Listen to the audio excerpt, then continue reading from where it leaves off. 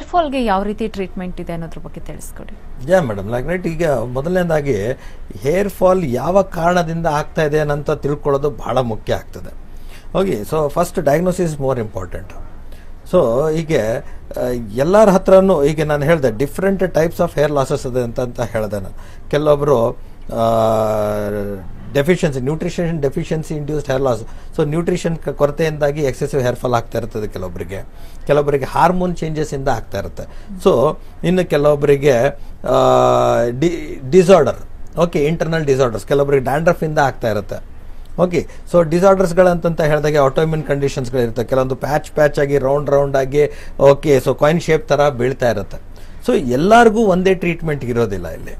So first diagnosis is important ಈಗ diagnosis ಮಾಡಬೇಕು ಅಂತಂತ ಹೇಳಿದಾಗ ಬರೀ ಕೂದಲು ಬೀಳೋದ್ರಿಂದ ನಮಗೆ ಕೈಯಲ್ಲಿ ಬರೀ ಕೂದಲುಗಳು ಮಾತ್ರ ಕಾಣಿಸ್ಕೊಳ್ಳುತ್ತೆ. ಅದು ಯಾಕೆ ಬೀಳ್ತಾ ಇದೆ ಅಂತ ತಿಳ್ಕೊಳ್ಳೋದು ಬಹಳ ಅತಿ ಮುಖ್ಯ ಆಗುತ್ತೆ.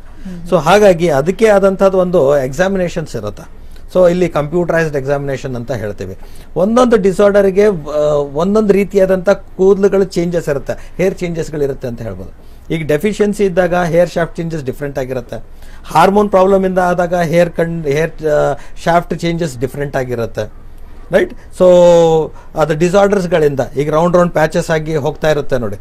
ಅದು ಆವಾಗ ನಿಮ್ಮ ಹೇರ್ ಶಾಫ್ಟ್ ಚೇಂಜಸ್ ಡಿಫ್ರೆಂಟ್ ಆಗಿರುತ್ತೆ.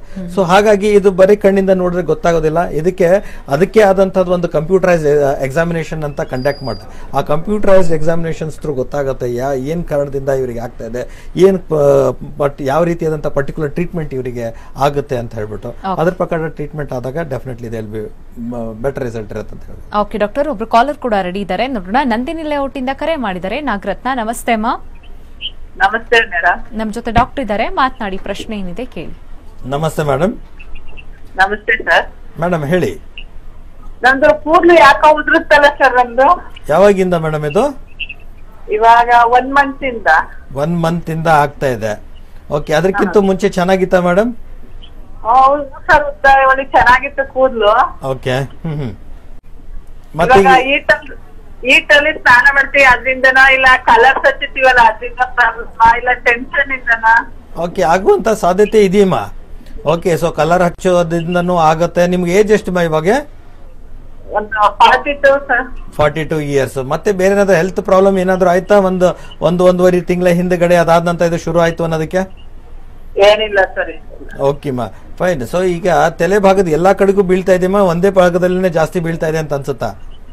ಇಲ್ಲ ಸರ್ ಎಲ್ಲಾ ಕಡೆ ಮಾಮೂಲಿ ತಲೆ ಬಾಚಿಸಿವಲ್ವಾ ಹ್ಮ್ ಹ್ಮ್ ಅವಾಗೆಲ್ಲ ಇಲ್ಲ ಓಕೆ ಅದು ಬೀಳ್ತಾ ಇದ್ದು ಮತ್ತೆ ಬರ್ತಾ ಇದೆ ಅಂತ ಅನ್ಸುತ್ತಮ್ಮ? ಜಡೆ ಏನಾದ್ರು ಸಣ್ಣ ಆಗ್ತಾ ಇದೆ ಅಂತ ಅನ್ಸುತ್ತಾ? ಇಲ್ಲ ಇಲ್ಲ ಅಂದ್ರೆ ಇದ್ದಂಗೆ ಇರ್ತದೆ ತುಂಡ ಆಗ್ತೈತೆ ಅಷ್ಟೇನೆ. ಓಕೆ ಓಕೆ ಮ್ಯಾಮ್ ಸರಿ ಮಾ ನಿಮ್ದು ಡೆನ್ಸಿಟಿ ಹಾಗೆ ಇದೆ. ಜಡ ಏನು ಸಣ್ಣ ಆಗ್ತಾ ಇಲ್ಲ ಅಂತಂದ್ರೆ ನಾರ್ಮಲ್ ಹೇರ್ ಫಾಲ್ ಇರುತ್ತೆ. ನಾರ್ಮಲ್ ಹೇರ್ ಫಾಲಿಗೆ ಏನು ಪ್ರಾಬ್ಲಮ್ ಇಲ್ಲ. ಸೊ ಅಬ್ನಾರ್ಮಲ್ ಅಂತಂತ ಹೇಳಿದಾಗ ಬೀಳ್ತಾ ಇದ್ದು ಬರ್ತಾ ಇರೋದಿಲ್ಲ. ಜಡೆನ ಸಣ್ಣ ಆಗ್ತಾ ಇರುತ್ತೆ. ಸೊ ಇದು ಏನಕ್ಕೆ ಆಗ್ತಾ ಇದೆ ಅಂತ ಹೇಳ್ಬಿಟ್ಟು ಒಂದು ಡೈರೆಕ್ಟಾಗಿ ಒಂದ್ಸರಿ ಬಂದು ಭೇಟಿ ಮಾಡಿದ್ರೆ ಅದಕ್ಕೆ ಆದಂಥದ್ದು ಒಂದು ಎಕ್ಸಾಮಿನೇಷನ್ ಇರುತ್ತೆ. ಎಕ್ಸಾಮಿನೇಷನ್ ಮಾಡಿ ನೋಡಿದ್ರೆ ಏನು ಕಾರಣದಿಂದ ಬೀಳ್ತಾ ಇದೆ ಅನ್ನೋದು ಗೊತ್ತಾಗುತ್ತೆ.